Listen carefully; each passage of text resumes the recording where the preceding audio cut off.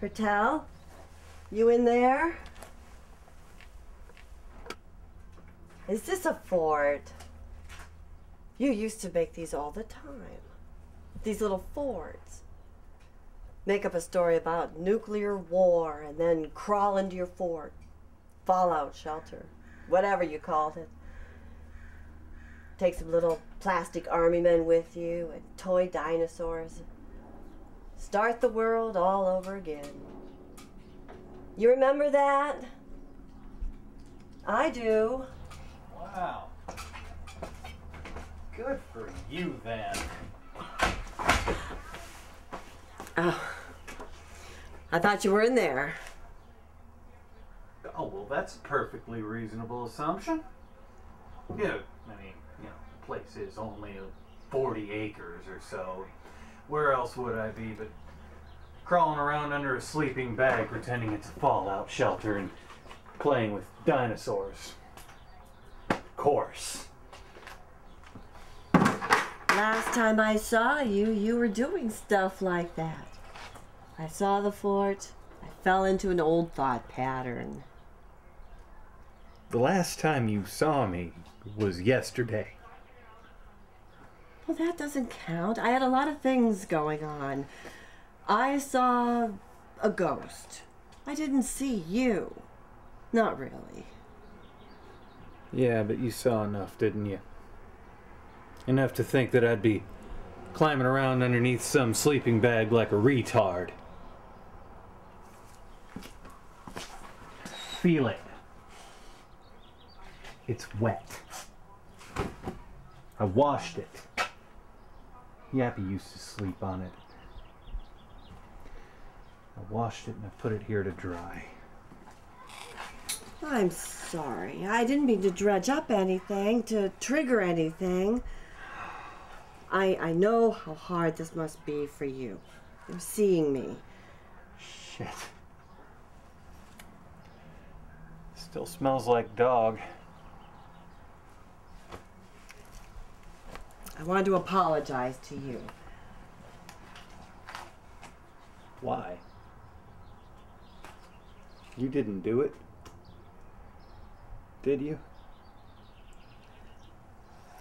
I want to apologize about last night. Save your breath, lady.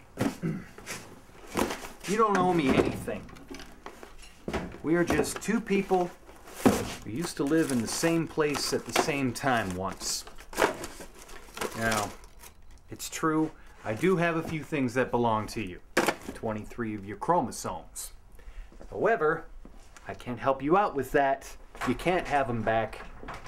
Sorry.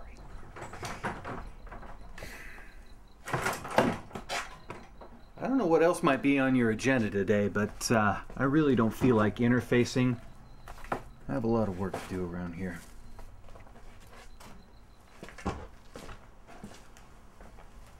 I want to apologize for how we came in here yesterday. Our minds all made up, seeing nothing but dollar signs. Well, that is what made this country great. When Kay called me, told me you were still alive, I felt. I know. I felt numb. She told me the situation down here.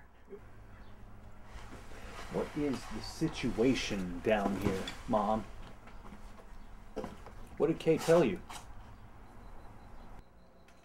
You know, before I came here, I had convinced myself that seeing you again would be like.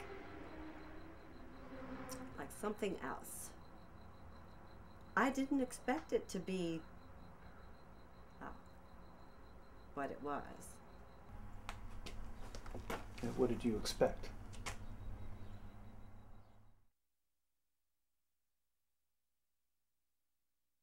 I expected you to be worse. Oh, what? What, you expect to find me uh, walking around on all fours? Hmm? Barking like a dog? hmm?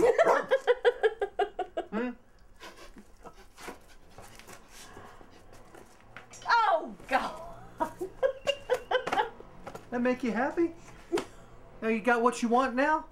You can steal this place out from under me and feel like you did the right thing all along? yeah. Well. Wait, you guys got a kennel picked out for me yet? Oh, that's not fair. Uh, are we talking about fair now? Uh, Is fair all of a sudden important now? Where you been for the last 30 years, lady? Huh?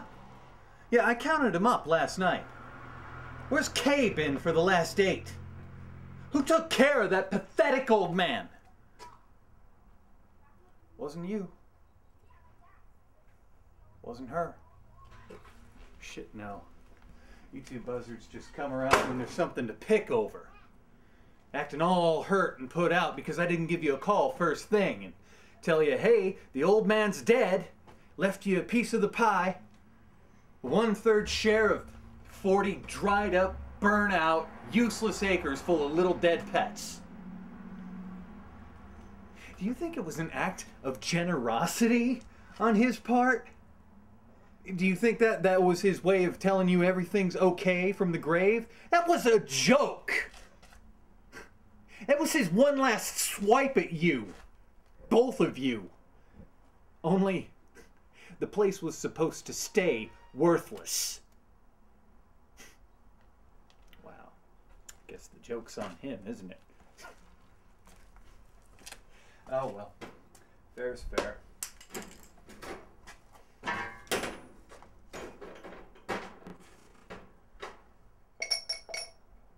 You done?